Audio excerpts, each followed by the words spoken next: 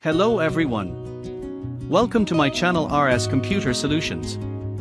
In this video tutorial, you will learn how to increase hard disk space on VMware machine from vCenter.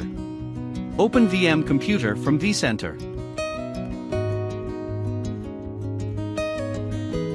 Check the existing hard disk space. The current hard disk capacity shows 90 gigabytes. Go to Server Manager and open Disk Management from Tools menu.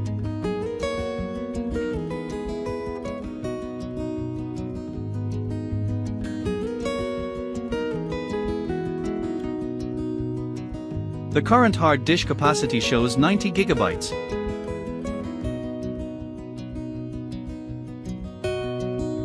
After login with your vCenter credentials, navigate to hosts and clusters or VMs and templates.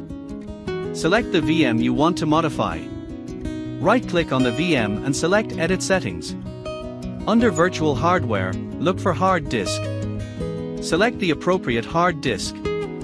Increase the size by changing the provision size value.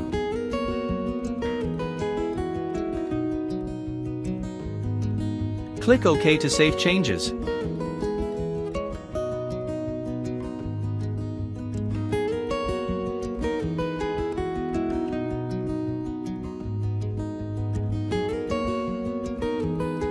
After increasing the disk size in vCenter, you need to create a new partition within the guest OS.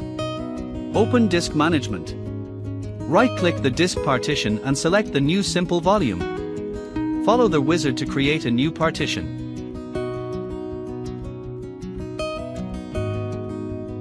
Go to this PC and check the new drive partition. The hard disk capacity increase process has been completed. If this guide helped you, don't forget to hit the like button, and if you want more tutorials, like this be sure to subscribe to the channel.